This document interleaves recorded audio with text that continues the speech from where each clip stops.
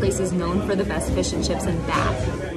These fish and chips blew my mind. There's probably a ton of other fish and chip shops here in the UK that are super tasty, but this spot takes number one in my life right now. I learned that the scallop shell was a finalist for the 2019 National Fish and Chips Award here in the UK, so my expectations were set pretty high. We also ordered a seafood platter because we thought the fish and chips wouldn't be enough, but it was massive.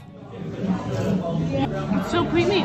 Our server said the haddock is like nice and soft. It's excellent. The batter is super crispy. It's so good.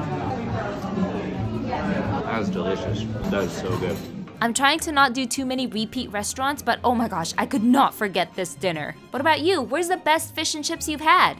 We got the grilled shellfish platter and the haddock fish and chips in